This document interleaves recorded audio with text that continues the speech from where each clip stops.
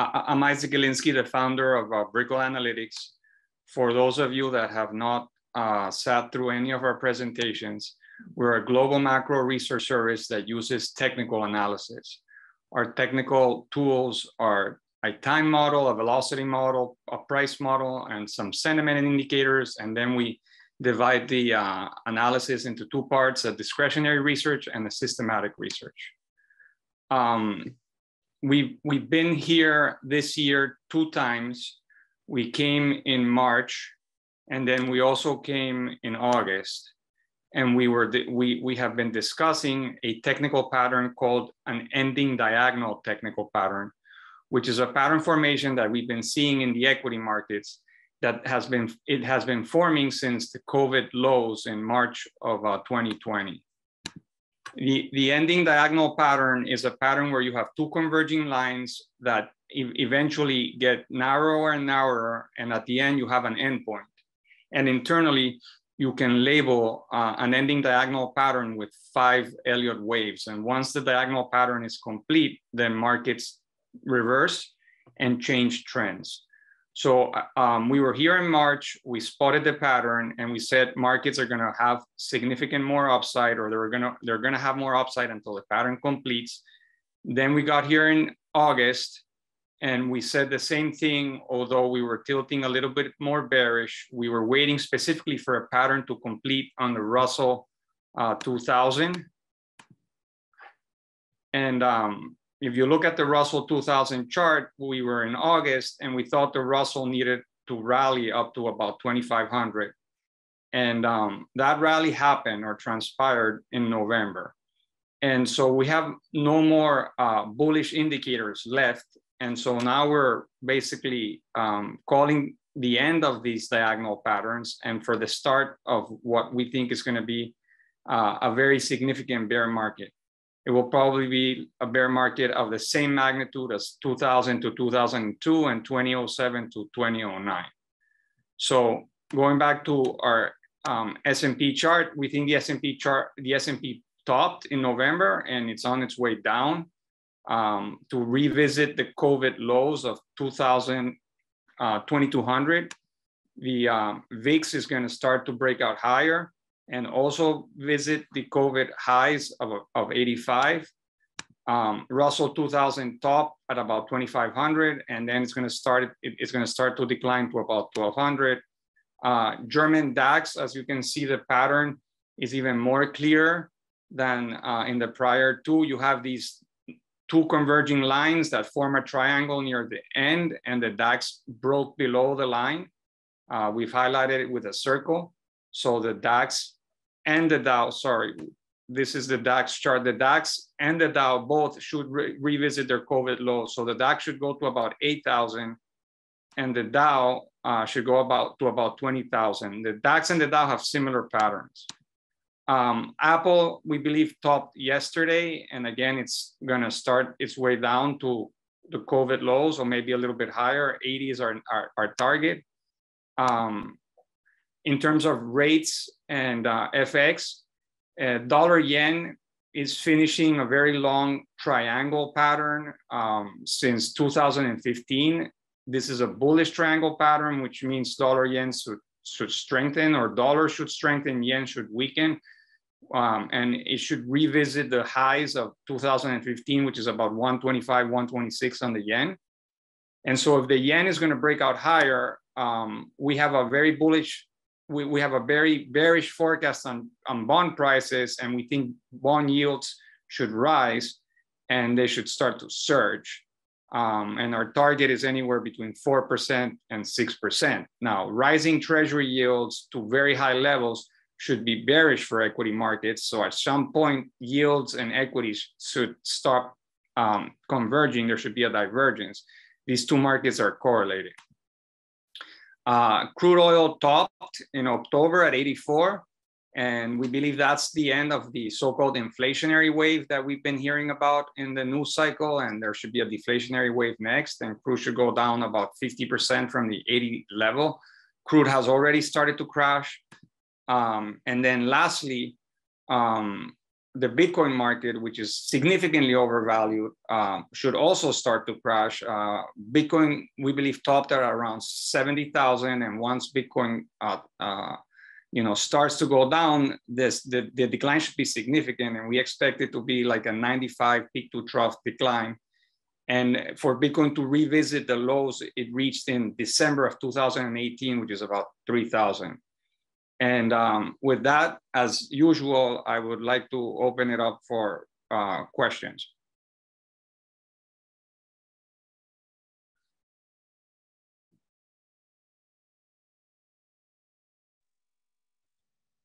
Um, Nalish says, Isaac, thank you for your presentation. These are some bold predictions.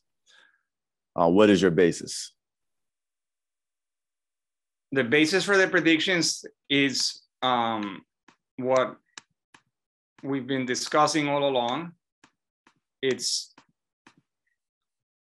our tools, our price tool, our sentiment indicators, our velocity indicators, and, and our time model. And then we take that analysis and we put it into charts and we can devise a forecast. So it's our tech, you know, our basis is our technical analysis.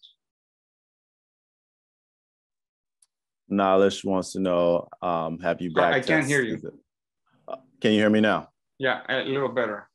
Okay. Nilish wants to know, have you back tested this? Uh, well, I mean, I, I, the back test is, you know, we've been in business for 10 years. So you guys already know what we do. So you can go back to our prior forecasts and see what we've been saying. So we've been bullish since the March 2020 COVID lows, and now we're turning bearish. So we've had two years of bullish market calls that have all panned out. Again, you know, we don't need to back this. You, we have already, you know, real real forecasts. We were here in August when the Russell 2000 was here in a range, and we said Russell 2000 is in a trading range, and it's going to break out of the trading range and get to 2,500, and then reverse lower. And so far, the Russell has done that. It's reversed lower and it hit our target of 2,500. So more than backtest, we, we have actual forecasts.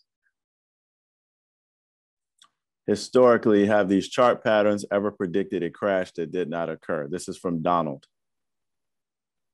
Um, have they predicted a crash that ha has not occurred? Yes. I mean, chart for charts are for bullish forecasts and for bearish forecasts. So I think these questions are redundant. We said in March and in August that the markets were going to rally.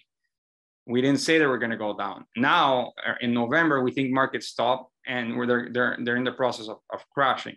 So you just have to interpret the charts uh, in at any given time point. So the time point right now is for a bear market to start unfolding very soon. What is your uh, target on the S&P? Uh, 2200. 2200. Yeah, it's the COVID lows. These, the, these ending diagonal patterns, once they end, they go back to where they started. So um, the S&P bottomed on March 23rd at 2191, and so it should get back to that level. Okay. And um, what's the time frame for which you see this uh, beginning? Well, it's starting right now. I think the big, big, it's starting right now. We had a big, you know, we have a, we had a big decline in the Russell in Germany, in some other markets. We had so, somewhat of a mild decline in the S&P in November. Markets are bouncing today. Uh, they, they, they may bounce a little more and then, you know, we may get back up to the highs and that may, may last, you know, another month. And then we're going to get ready to go down in 2022. 2022, we're going to go into a bear market. Got you. Got you. So, um, what is the, um, you know, the call on the uh, dollar yen uh, up to 126? Sorry, 120 at, at 126. It could it could go it could go higher, right? It just has to it has to get above the highs of uh, June 2015, which is 125.86, so 126.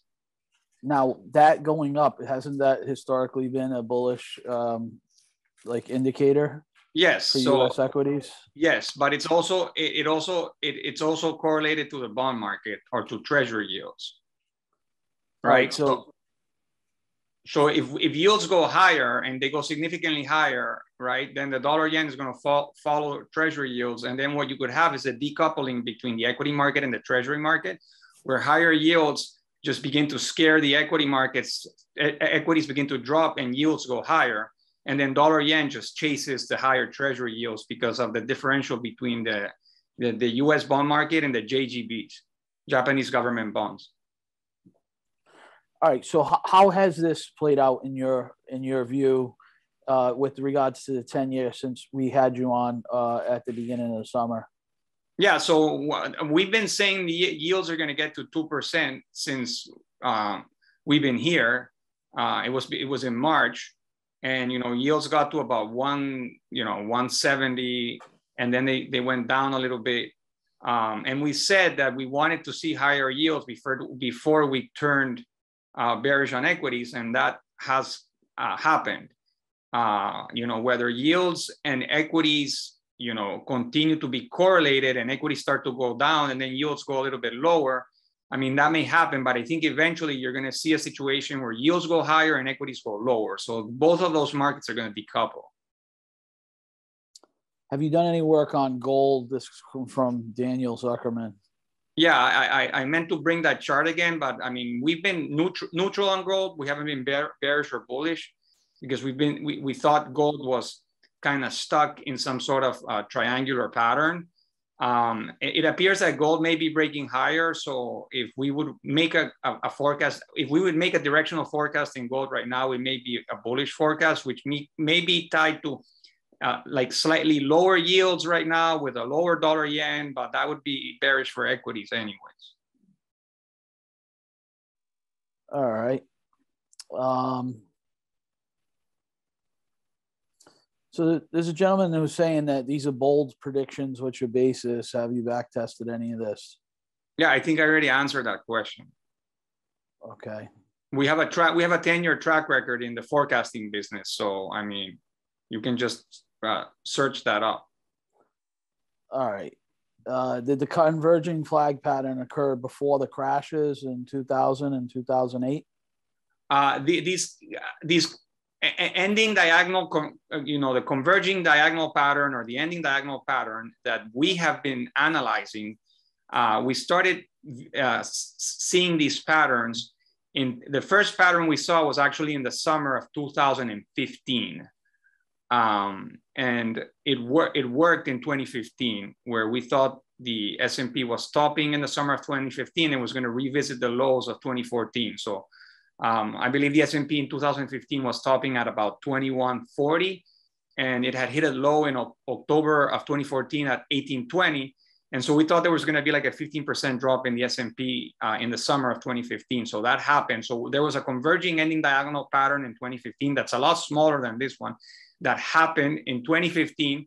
And then the second one we saw was um, right into the co- into the pre-COVID crash. So it was the 2020 highs, which was also very reliable because the S&P was stopping then at about 3,300, and we thought it was going to go down to 2,300, which was the lows it had it had been at over Christmas in 2018. So our experience with these diagonal patterns are 2015 and, and, and then 2020. We didn't see quite a diagonal pattern in 2007. It was a different uh, technical formation. And we also didn't see a diagonal pattern in 2000, which leads me to conclude that this is a much more bearish setup than we've seen, you know, ever, because diagonals, you know, are more, um, they, they are they happen at the end of technical formations, which could be at different different degrees of trend so you can do what's called cycle analysis and you can have uh, a super cycle top or a cycle top of multiple degrees of trend. And these trends usually mark tops that happen, you know, every 10 years, every 20 years, every 50 years, or even every 100 years. So the fact that we didn't see a diagonal pattern in 2000 or in 2007 leads us to conclude that this is a more serious type of top in equities. And we're gonna, we're looking at a much bigger decline that we had in the prior two bear markets that we've had over the last 20 years. So Isaac, there's a gentleman who's asking about the um, at what level on the S and P uh, would there be a confirmation uh, that we're breaking down out of this upward channel?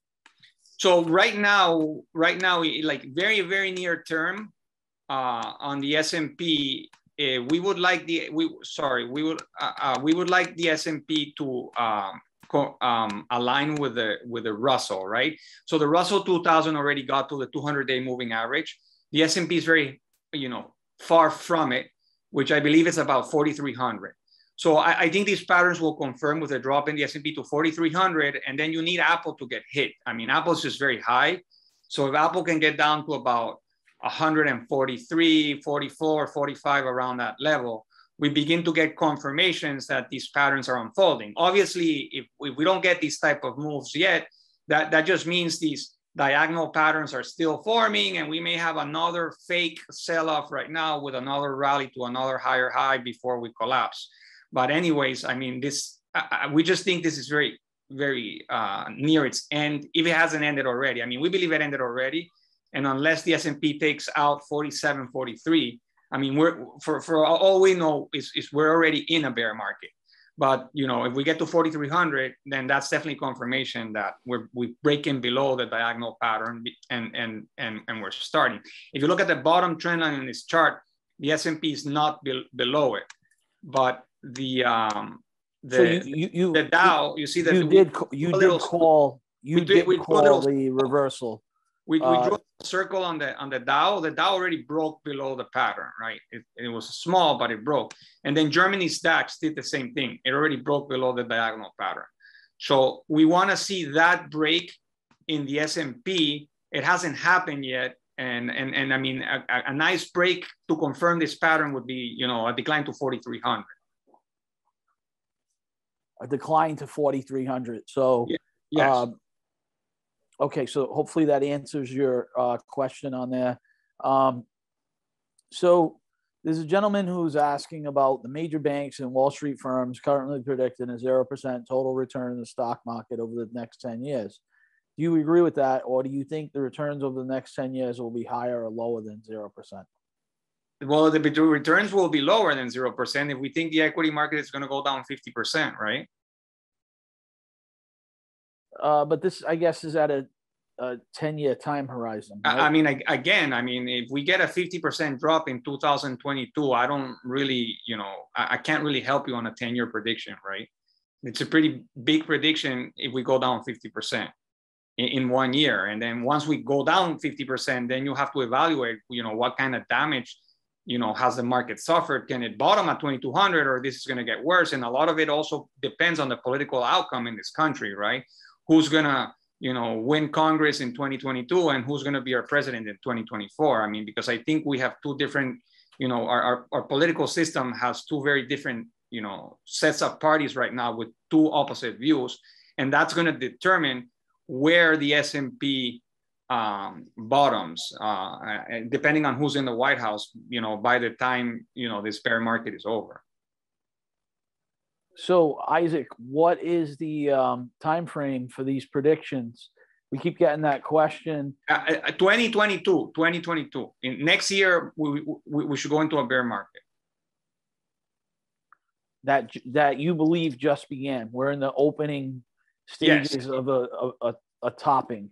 Yes, the bear market started on November 22, 2021 at 47.43 in the S&P. Unless the S&P rallies above that level, everybody on, on this call or on this chat should prepare for a bear market. So we're gonna we're we're, we're gonna our forecast will be delayed time wise if the S&P rallies above 47 43 again I would prefer and everybody else would prefer that we don't go into a bear market. I mean it's nicer that we don't.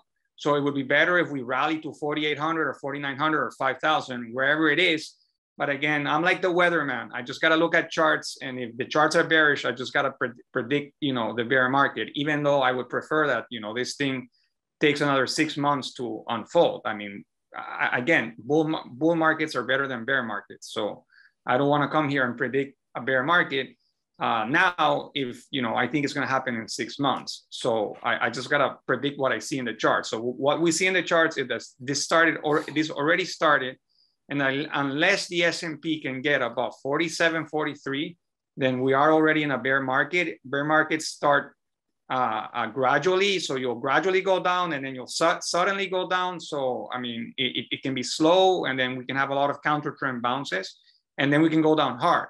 But I think the first quarter of 2022 is should be very rough for the equity markets. All right. So, with regards to rates, they're going higher, correct? That's what correct. I see in the chart. Yes, the, the trend. they're going to be range bound in between this like two to six percent range the, the, the trend in rates is, is higher, right? The, and, and then, you know, our, our friend, you know, Jer- Jerome Powell, you know, is already tape, he's already tapering, right? So I, I think it's going to be very hard for the Fed to reverse course on, on, on, their, on their views of, you know, easy monetary policy once the rate markets start to go higher. So, if, you know, if the, if the, if the 10 year yield gets to 2% and then the markets begin to panic and start to go down, and Powell, you know, says, hey, you know, we're, we're not we're not going to take we're, we're not going to taper. We're going to do more QE. The markets may actually take that negative and punish the you know the, the Fed and the bond market, and, and Treasury yields may go even higher. So I think we're in a trend where we're in a direction of higher higher yields. Uh, whether we we range bound between two percent and one percent and two percent before we go to six percent, anything's possible. But I just don't think we're going to see 30 basis points anytime soon again, which was the low in 2020. And if the Fed tries to reverse course after the bear market started, it may be too late. And of course, the Fed already is going to taper, so yields should go higher. And uh, if yields should go higher, at some point, it's going to punish the, the equity markets. So I think the equity markets are cornered and they're going to have a very hard time from here on forward going, you know, significantly higher, especially with the Fed's, you know, semi-hawkish position now, where they're going to begin to taper very soon. So Isaac, talk to us about WTI, West Texas Intermediate. I know you got a chart in there calling for a 40% pullback. Um, you know, what what velocity do you see that trade playing out and what's your confidence level that that's going to actually happen? Well, I mean, that's tied to the equity markets. And usually, you know, equities and oil, you know, they, they, they tend to top together. So if our forecast on the S&P topping at 47.43 is correct, if we end up being correct, calling the top at 43, 40, 47, 43, oil topped at $84, right? So it's just going to go down. And so we've had a lot of talk of, you know, inflation, inflation, eh, oh, everything you hear right now is inflation well, you know, a, 50% drop in oil from peak to, to trough from the 80 to the 40 level is going to immediately send a deflationary cycle wave across markets, and there's going to be no inflation. So, I mean, we think that given where sentiment is and with everybody very in, in, inflation-based position, you know, I think the, the the the, the opposite should happen is which we, we should have we should have deflation, which means oil should go down, and it, it should have already started. So Isaac, um, there's a couple of questions in here that basically, uh, gentleman's asking if rates go higher, wouldn't the financials do well? And um, a, a different person's asking, what's your confidence level on all these predictions happening in 2022? Can you share the presentation? Um, so people are looking to understand how certain you are that these bold predictions you're making are going to actually play out? Well, I mean, this is the third presentation we do in 2021. Again, we came here in March, we came here in uh, um, August, and then we came here in November. And I'm going to encourage all participants that are on here today to go back and review our presentation from March and our presentation from August. And then you can compare and contrast. I think, you know, that's going to be your, your best source of information uh, in terms of our confidence level, our charts, you know, our back testing, everything. There's you, you'll now have a way to compare our work because this is the third time we're on here. And I, I think Mike, they can reach out to you guys and get the prior presentations or the prior videos. Well, the prior just, videos are all on the uh, on the web, but maybe when we do the um, the follow up of this presentation, we can uh, put links in uh, the email to the, the uh, pre the previous ones. Now, what what I'll say to the people listening today is you were crystal clear to keep long exposure and you know uh, like not go short, not sell. uh, you know, on, during this last presentation, and you were explaining to people how difficult that was, um, you know, of a call to make. So, Isaac, what has changed in your mind to take you from telling people to stand the course with risk appetite to, hey, here's a bold prediction the market's going to sell off, right? Because I, yeah, I, what, I already know what the video says, right? I did no, the videos with you. what's changed is our, is our friend eh, called the S&P 500, right? So if you go to the S&P 500 and you and you go right here where we were in March, it was at 4,000. And I think we did a slide saying, hey, you know, there's an ending diagonal pattern forming. However, the S&P can rally another 10% in our face, right? And then so when and then we came here in August and the S&P was already at 4,500 and it had already rallied 10%, you know, in our face and gone to 4,500. And we said, well, you know, it may rally another, you know, 10% and get to 4,800. So we we've spotted we spotted this pattern in in January and February. We reached out to our, our excellent friend Mike Corselli and said, hey, Mike, we, we're spotting an ending diagonal pattern in in in in the S&P please get us on Zoom so we can present this to the members of FLAIA. And we came on here in March and we said there's an ending diagonal pattern forming on the S&P. The S&P is at 4,000. However, this thing may go on for another you know few months and the S&P may get to 4,400. It happened. That happened, right? So then we came back in August and we said, well, we told you guys we were going to get to 4,400 in the S&P uh, because there was an ending diagonal where our, our forecast may overshoot because these diagonals overshoot. And we're not ready to call a top now because rates are still low and the Russell still hasn't rallied. So, you know, we need a few more months for this pattern to top and we may go up another 10% from that 4,400 level. So we ended up getting to 47, 43. You know, the Russell got to 2,500. The Russell got absolutely smashed over the last two weeks. It went down 12%.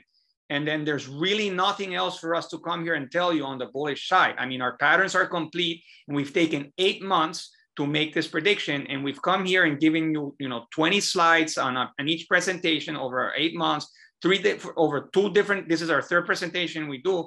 I mean, it's it just becomes very hard to continue to, you know, create more upside when patterns are complete. And, you know, we have, you can compare and contrast between what we said in March what we said in August and what we're saying right now. So the S&P 500 is our benchmark, right? It was at 4,000 and you know we were seeing the diagonal pattern which was bearish but we didn't call the top now we're calling the top and it's 800 points above where it was when we first started making this forecast